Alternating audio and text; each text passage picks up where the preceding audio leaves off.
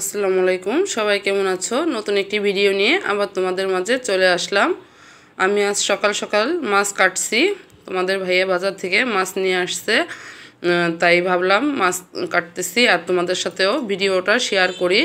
আর কি কি বাজার নিয়ে আসলো? সকাল সকাল তোমাদের ভাইয়া বাজার থেকে যে পুরো ভিডিওটা দেখতে থাকো, তাহলে দেখতে পারবে। আর মাছগুলো খুবই টাটকা ছিল।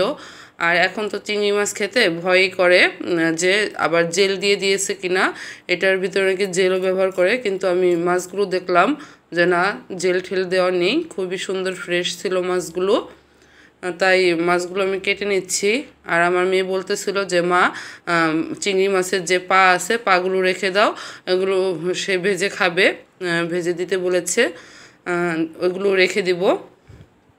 আর চিংড়ি মাছের মাথার ভিতরে যে ময়লাটা থাকে, ময়লাটা সুন্দরভাবে পরিষ্কার করে নিতে হবে। কারণ চিংড়ি মাছের মাথায় সবসময় মাথার উপরে এই ময়লাটা থাকে।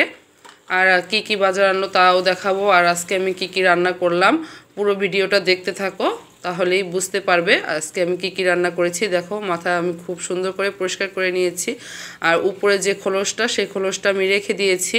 কারণ এটা রেখে দিলে মাথাটা খুব সুন্দর ভালো থাকে।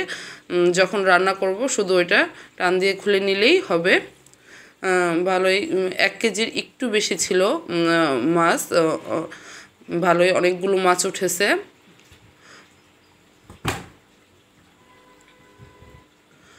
আর আজকে আমি যা যা রান্না করব সেগুলো আসলে গুছিয়ে ফেলেছি মোটামুটিভাবে। আর সকালে তো চা খেতে হবে, তাই এখানে তুলসীর চাও বসিয়ে দিয়েছে আপনাদের ভাইয়া। আমি এখানে মাছটা কেটে নিয়েছি। এখন আমি চা খাওয়ার পরে সকালের নাস্তা বলতে আজকে অন্য কিছু করব না, একবারে দুপুরেরটা সকালেরটা একসাথেই করে নিব। দুপুরে ভাবছি ভাত করব। আর সকালে ও ভাত একসাথেই বসিয়ে দিব। চিংড়ি মাছগুলো খুব সুন্দর ছিল। কয়েকটা চিংড়ির মধ্যে আবার ডিমও ছিল। খুবই সুন্দর ছিল মাছগুলো। এগুলো আমি এখন ভাগ করে রেখে দিব। রেখে দেওয়ার পরে আমি অন্য যে সকল কাজ, সেগুলো আস্তে আস্তে সেরে নিব।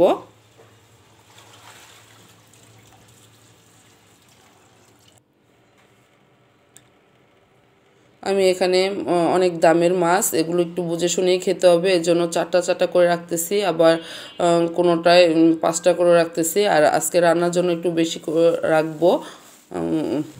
এখান থেকে সব। আর যা যা বাজার আনছিল তোমাদের সাথে শেয়ার করতেছি।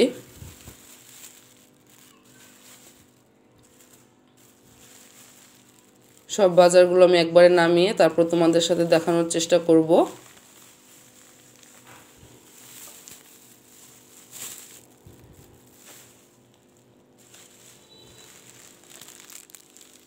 একটা পানির বোতলও আনতে বলেছিলাম, কারণ পানির বোতল মেয়ের পানির বোতলটা হারিয়ে গিয়েছে। আর এখন যেটা ব্যবহার করে, এটাও কেমন একটু নষ্ট নষ্ট হয়ে গিয়েছে, তাই ভাবলাম, বলেছিলাম একটা পানির বোতল আনার জন্য। পানির বোতলটাও নিয়ে আসছে। এখানে চা পাতি নিয়ে আসছে, পাস্তা, তারপরে আমরা যেহেতু এখানে শুকনো মরিচ আছে, তেজপাতা, আর আমরা যেহেতু শুটকিটা খুবই পছন্দ করি তোমাদের সাথে বলেছি এখানে এক পোয়া লটকা শুটকি যেটা, সেটাও নিয়ে আসছে, একটা পানির বোতল নিয়ে আসছে,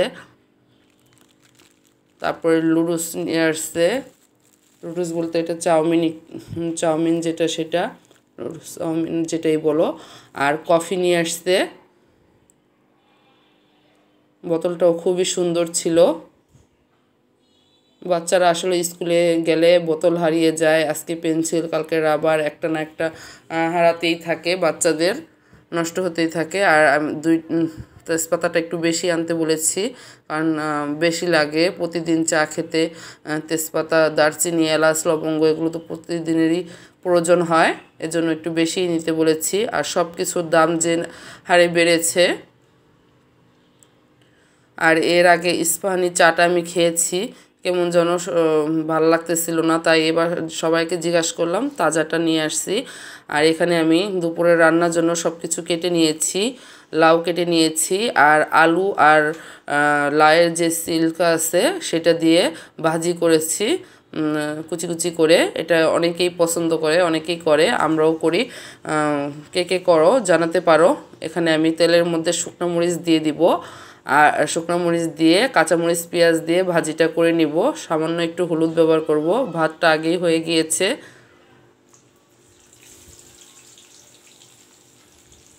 আমি দুই চুলায় রান্না বসিয়ে দেব। আর আলুটাও সিদ্ধ করে নিয়েছি যখন ভাত বসিয়েছিলাম। আমি মাছ কাটতে কাটতে তোমাদের ভাই আমাকে একটু হেল্প করেছে। সে সবসময় আমাকে হেল্প করে। কোনো না কোনো কাজে হেল্প করতে থাকে। সে আমাকে ভাতটা দেখেছে। আমি যখন মাছ কাটতেছিলাম আর চাও বসিয়ে দিয়েছিল। তারপরে আবার আলু সিদ্ধ হয়ে গিয়েছে। এখন আমি দুপুরের রান্নাটা একবারে সেরে নিব। কারণ যেহেতু আমার দুপুরে বাচ্চাদের নিয়ে টিফিনে নিয়ে যেতে হয় স্কুলে। আমি এখানে লাল চিলকা আর যে আলুটা যে, আলুটাও আমি আজকে চোচাটা ফেলিনি, সেটা সহ একবারে কুচি কুচি করে দিয়েছি। এই ভাজিটা খুবই মজা লাগে।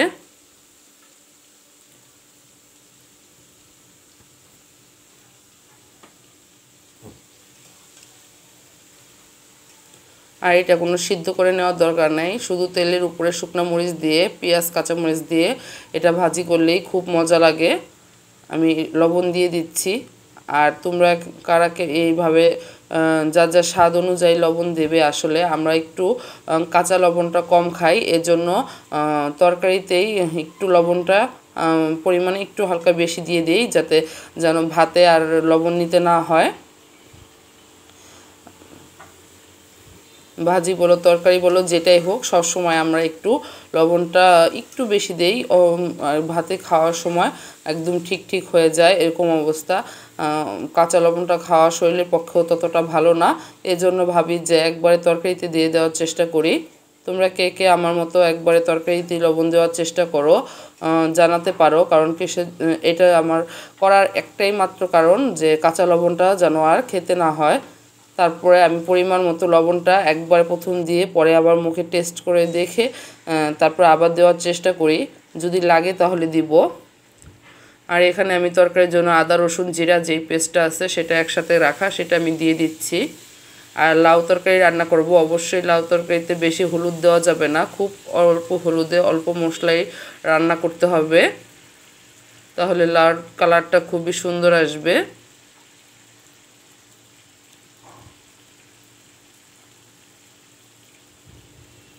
পুরাপুরি এখানে মনে করো দেড় চামচের মতো আমি হলুদ মরিচের গুঁড়া দিয়ে দিচ্ছি। কারণ হলুদ মরিচের গুঁড়াটা যেহেতু একসাথেই আর লবণ আমি দিয়ে দিচ্ছি, এরপরে লাগলে আবার দিব।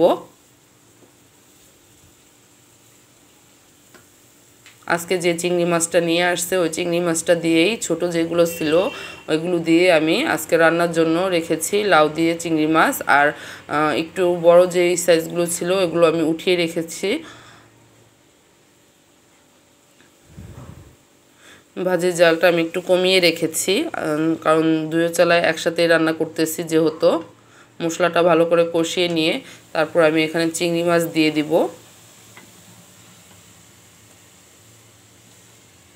অবশ্যই সুন্দর করে মশলাটা কষাবে, কারণ মশলা কষাতে যতক্ষণ লেগেছে ততক্ষণ দেখাতে গেলে তো ভিডিও অনেক বড় হয়ে যাবে, অবশ্যই বুঝে নিতে হবে, কারণ মশলাটা আগে ভালো করে কষিয়ে নিয়েছি এই জন্যই তেলটা দেখো এখানে উপরে ছেড়ে ছেড়ে আসছে। তোমরা এইভাবে মশলাটা সুন্দর করে কষিয়ে নিবে। আর শীতের সকালে আলু ভর্তা দিয়ে ভাত খেতে কার না ভালো লাগে? শুকনা মরিচ পেঁয়াজ ভেজে তারপরে ধনিয়া পাতা দিয়ে যদি ভর্তা করা হয়, অনেক মজা লাগে ভাত খেতে। সাথে যদি থাকে ঘি, তো, তাহলে তো কথাই নেই।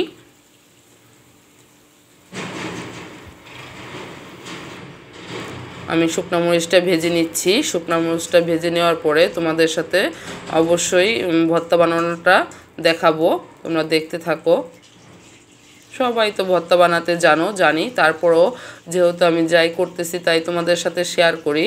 অবশ্যই দেখতে পারো। আর ভিডিও ভালো লাগলে অবশ্যই পুরো ভিডিওটা দেখে অবশ্যই একটু সাবস্ক্রাইব করে দিবে বা লাইক দিয়ে দিবে কমেন্ট আর তোমরা এখন ইদানিং সুন্দর সুন্দর কমেন্ট করো, খুবই ভালো লাগে। অনেকে অনেক কিছু জানতে চাও, আমি কমেন্টের উত্তরগুলো দি চেষ্টা করি, লিখে দেওয়ার চেষ্টা করি কিছুটা, আর কিছুটা মুখে দেওয়ারও চেষ্টা করি। আর ভালো মন্দ মিলেই সবাই।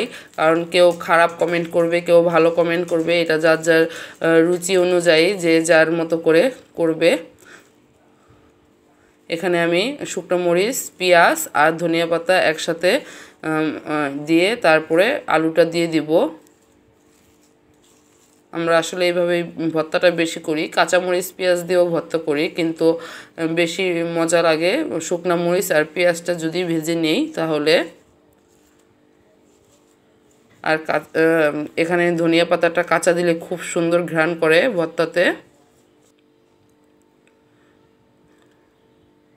আমার রান্নাটাও প্রায় হয়ে গিয়েছে আর বাচ্চাদের স্কুলে যাওয়ার সময় হয়ে যাচ্ছে, এজন্য রান্নাবাড়াগুলো একবারে শেষ করে ফেললাম।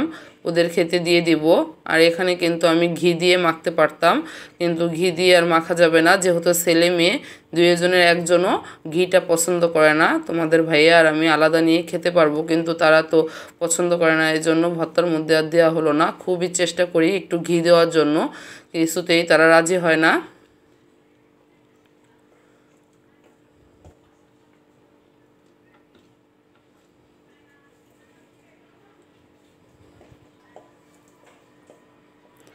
চিংড়ি মাছটা আমি দিয়ে দিয়েছি। এখন অবশ্য আমি রান্নাটা প্রায় কাছে গেছে। এখন দেখা যাচ্ছে এটা হওয়ার পরে আমি ভাত খাব। আর আলু ভর্তা দিয়ে ঘি দিয়ে খুবই মজা খেতে।